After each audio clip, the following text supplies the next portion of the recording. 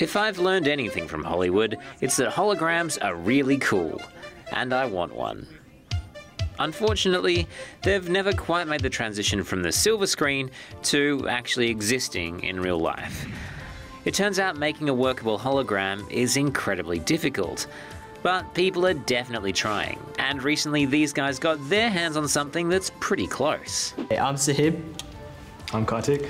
And we use this volumetric display to basically model this car into a more digital and interactive way. Okay, so it's not really a hologram. That's why they call it a volumetric display. But it's an interesting step in that direction. And this school decided to use it as part of their presentation for the F1 in Schools competition, which is all about designing and racing your own mini F1 car.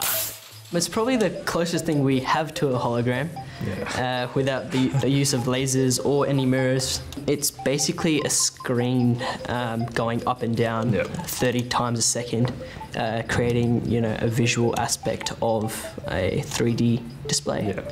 It produces a lot of images per second, and um, once it, it's so quick that we can't recognize it, and that's why it looks like as if it's a 3D moving um, picture or animation. And that's what helps us to really detail the components of our car and really express um, what our car's made out of.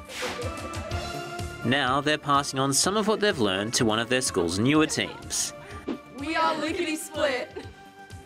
They're currently looking at different ways of using the technology to explore and demonstrate their car. In fact, do you want me to show you how it works? Yeah, that's great. And they say there are heaps of possibilities. Well, it's actually got a lot of different functions. You can map out, you can use graphs, you can do maths in it if you really want to.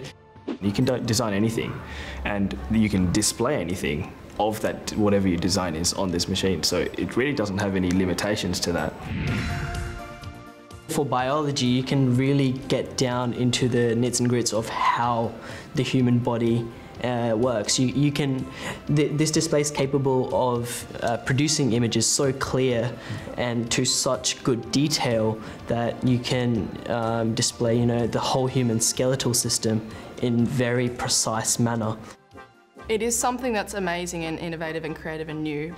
You see, you can even see your own reflections on this. So while they've got a lot of work to do on their car and deciding the best way they can show it off, they're pretty confident this technology will help them go far. They want new things, innovative things, things they haven't seen before. So that's what we're trying to push forward to discover and create and do with our team.